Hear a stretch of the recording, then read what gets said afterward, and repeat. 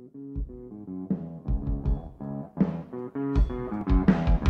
hear a lot of people saying the blues, the blues, but I'm gonna tell you what the blues is.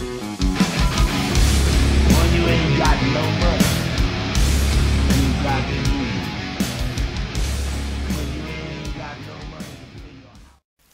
Muy buenas Wargamers, ¿cómo estáis? Max, una vez más desde Málaga Wargames con otro vídeo más de nuestras eh, tácticas avanzadas, en este sentido, de Theory Hammer. Vamos a hablar hoy de la táctica de yunque y martillo, ¿de acuerdo? Si queréis un poco de narrativa en el tema, pues eh, esta táctica aparece mucho en novelas de los salamandras, ¿vale? También en eh, alguna novela de herejía de Horus se habla mucho de las tácticas de yunque y martillo.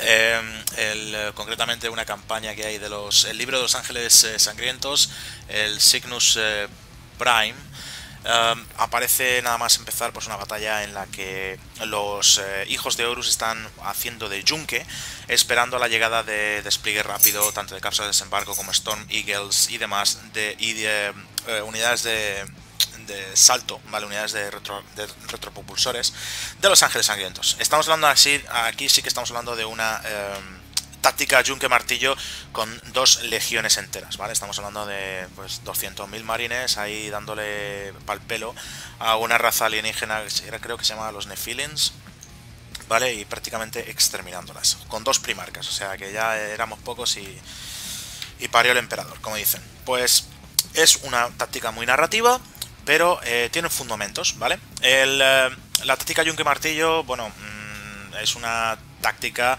real que se ha aplicado en la guerra durante muchísimo tiempo, con diferentes variaciones, pues desde eh, las guerras de griegas, ¿vale? Contra Persia se hizo táctica yunque martillo simplemente con falanges, ¿vale? Lo, que, lo, que, lo que hicieron fue Uh, retirar unidades del centro para llevarlas a los flancos y cerrar en modo pinza, ¿vale? Luego también, eh, este, ¿cómo se llama? Alejandro Magno lo usó, pero usaba de martillo unidades de caballería ligera y pesada, ¿de acuerdo? Que también hizo mucho, mucho daño usando de, de yunque sus eh, falanges. Y bueno, podemos seguir. En Warhammer Fantasy se usaba mucho, ¿vale? Eh, se primaba sobre todo el, eh, bueno, que tenías, había que tener mucho cuidado con los ángulos que colocabas, ¿vale? Los encaramientos y demás, porque, eh, bueno, es más... es un, un, modo de juego diferente, ¿de acuerdo? Entonces los flancos, o sea, el, eh, depende de dónde estuvieras encarada la unidad y demás, pues te podían hacer un ataque, una carga frontal, una carga de flanco, así que había que tener mucho cuidado con los eh, yunques, porque tenían problemas de movilidad. En Warhammer 40.000 ese problema no lo tenemos tanto, porque son miniaturas, son escuadras y hay más facilidades de moverlas, que veremos, veremos a ver cómo se hace. Eh, os haremos un vídeo explicativo y demás con las miniaturas sobre la mesa, ¿vale? Pero de momento vamos a dar un poco la teoría y en cuanto tenga un poco de tiempo pues eh, pondré todo sobre la mesa para que esté más explicadito. Bueno, pues eh, tenemos dos tipos de unidades, como hemos dicho. Eh, la unidad Yunque, que son unidades que resisten y demás. Si queréis más información, hay un vídeo anterior a este, ¿vale? Donde están explicados los puntos clave que tienen. Y las unidades Martillo, que también hay un vídeo anterior al, ante, anterior al, del Yunque, ¿vale? En la que se explica primariamente, eh, pues, reglas que puedes hacer con ellos y demás. Bueno, pues, eh, llegando a ese tema, tenemos que, eh, hay que intentar tener en cuenta, eh, bueno, los puntos de la partida y, la inversión, ¿vale? En el tema. Siempre hemos dicho que tanto las unidades martillo como las unidades de yunque, pues eh, la inversión en puntos tienen que tener pues eh, una consistencia, ¿vale? Tienen que tener un equilibrio. No estamos buscando unidades eh, Death Star, sino más bien unidades que sean duras y que se complementen unas a las otras, ¿vale? Hay diferentes tácticas. Yo he, ideado tres, ¿de acuerdo? ¿vale? Uh, que os voy, a, os voy a narrar en breve. Bueno, a ver, no son tres tácticas, digamos que serían... Eh, pues no son tres tácticas, son tres pasos, ¿vale? Para aplicar la táctica del de, eh, martillo. Eh, hay un primer vídeo, de los primeros vídeos que hice de, explicaciones de tácticas y demás, que eran los pasos o, las fases que dividimos eh, una partida de Warhammer bueno, una partida de Warhammer 40.000, pero en general sería una partida de cualquier tipo en la que haya turnos y reserva, ¿vale? Tenemos la fase 1, ¿vale? Que si, eh, yo la he titulado Aguanta la lluvia que cae. Básicamente sería el turno 0 y el turno 1. En el turno 0 tienes el posicionamiento, tienes el, el decidir sabes quién va a empezar, quién, quién va a ir segundo, elegir el terreno, ¿vale? Eh, si tienes la opción de elegir terreno, pues un terreno que te favorezca, eh, un terreno que le niegue, si tienes mm, disparos, pues le niegue mucha cobertura al contrario. Si tienes unidades que van a tener problemas de mover a través de coberturas, pues lo mismo, negarle al otro las coberturas y demás. Cosas así. Y el turno 1, pues, bueno, tendremos luego el turno 0, el posicionamiento, el robos de iniciativa y demás, y luego el turno 1 que sería eh, la supervivencia en sí. Recordad que eh, tenéis que, mm, aunque por ejemplo pongáis pocas miniaturas sobre la mesa, ¿vale? Pues tenéis que intentar que esas miniaturas sobrevivan, ¿vale? Para que lleguéis al turno 2. Si os asolan, pues se acabó la partida y a echar otra. Si tenéis todo el ejército desplegado sobre la mesa, pues estamos en las mismas. Tenéis que pensar que hay unas unidades martillo que van a tener que moverse y para, para que puedan moverse pues a lo mejor necesitan depender de vehículos o cosas así. Así que tenéis que pensar a ver cómo vais a desplegar eh, en la partida. Enseñaremos tipos de despliegue después, ¿vale? Para que veáis eh, un poco el temario y luego vayáis decidiendo cada uno lo que, lo que va. Pero bueno, lo, lo más importante sería el paso 1, aguantar la lluvia que cae, sería turno 0 y turno 1, posicionamiento y supervivencia, ¿vale? Luego está la la fase 2, ¿vale? Que sería que llueve la muerte del cielo. Y bueno, llueve la muerte del cielo es literal. Eh, tenemos el turno 2-3, ¿vale? Que vienen pues reservas, vienen refuerzos por flanqueo, vienen despliegues rápidos, vienen eh, simplemente unidades que tenías un poco más atrasadas y que tienen velocidad, ¿de acuerdo? Así que en ese momento entre la fase, en la fase 2, lo que es el turno 2-3, te tienes que posicionar, ¿vale? Posicionar tus unidades martillo para ejecutar la orden o a lo mejor ya has conseguido ejecutar la orden porque el, contrario pues tiene mejor movilidad que tú. Eh, os enfrentáis, yo que sé, a un ejército de demonios que tienen un montón de mastines de corne que hacen exploración. O te enfrentas a unidades de... Eh, esto, ¿cómo se llaman?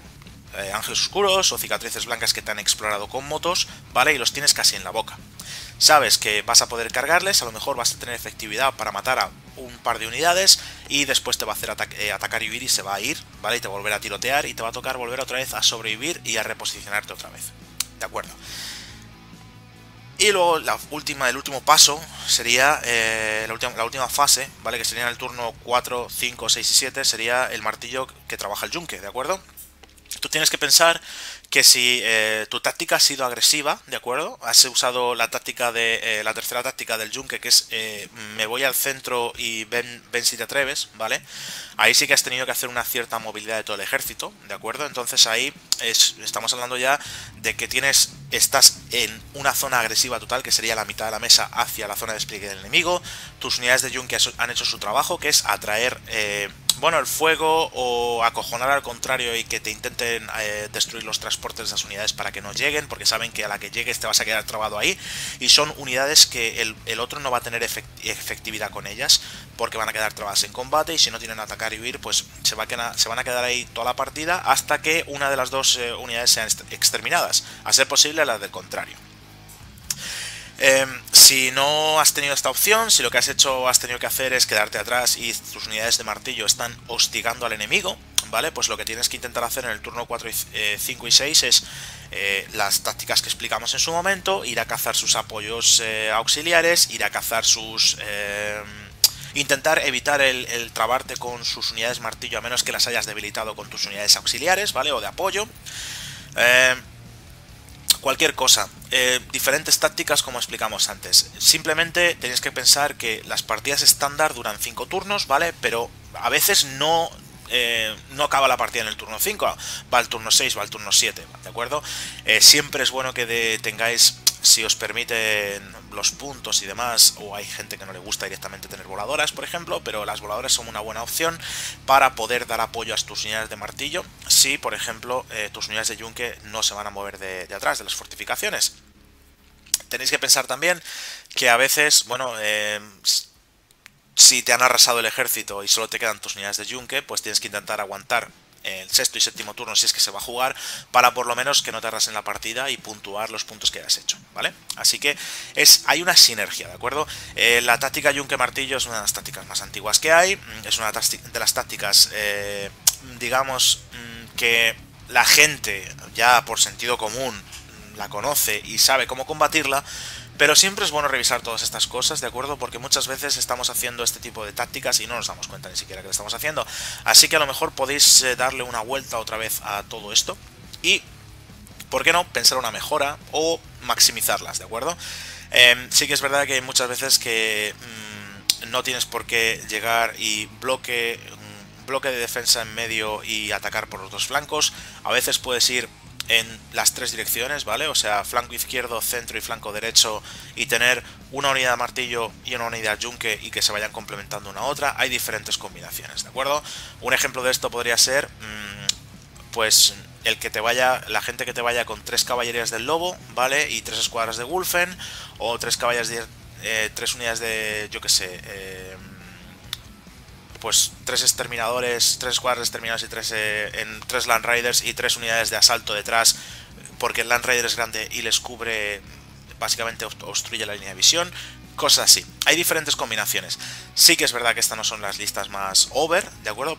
Pero para todos aquellos que estéis empezando, ¿de acuerdo? Todos eh, habéis empezado o habéis tenido en su momento una caja de venganza oscura. Y es un ejemplo porque ahí ya vienen exterminadores, vienen marines tácticos, pero cualquier otro, cualquier otro ejército que os vienen, hay un montón de unidades que no les dais uso, ¿de acuerdo? Pero si queréis jugar partidas transfondísticas o partidas normales, ¿vale? No partidas de élite, todas estas tácticas eh, clásicas os van a servir. Si no, en partidas de élite vais al final vais a poder hacer eh, lo mismo. Táctica yunque, táctica martillo. Lo que pasa es que seguramente vais a usar una unidad de cebo y la otra que va a ser la unidad que remate. Eso es lo mismo. Simplemente es eh, aplicar todas esas doctrinas en ese tipo de unidades. Bueno chicos, pues aquí llegamos con eh, el primer vídeo de... Bueno, el primer fin de explicaciones de tácticas. Y eh, ya hemos explicado ciertas unidades. Tenemos, bueno, ciertas listas por decir así. La lista Junque Martillo, tenemos la lista de Star y tenemos la MSU. Así que, mm, mi pregunta, ¿vale? Sería si sabéis de más eh, tipos de, listas, bueno, seguro que las sabéis, ¿vale? Yo también, pero bueno, ¿cuáles quisierais que habláramos más, que ondáramos más, que buscáramos información e intentáramos explicarlas de la mejor manera posible? Bueno, pues esto es todo, chicos, muchas gracias como siempre, nos despedimos desde Málaga, Happy Wargaming.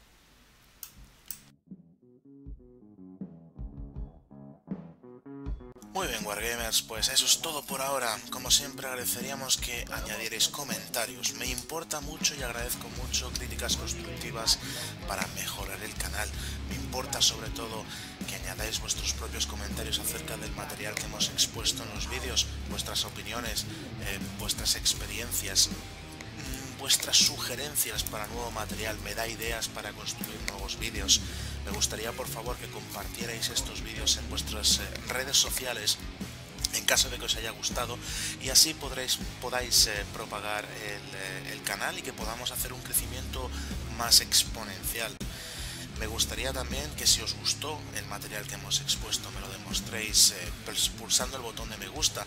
Eso me ayuda, me da bastantes energías para seguir produciendo material e intentando mejorarme día a día con todo lo que os expongo.